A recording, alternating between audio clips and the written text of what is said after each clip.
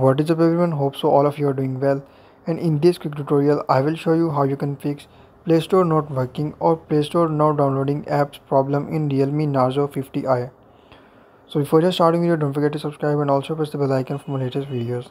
So if you are facing Play Store not working or not downloading applications problem in Realme Narzo 50i simply first of all you just need to tap on settings and follow every single step as I'm showing you in this video. Also this will fix your problem.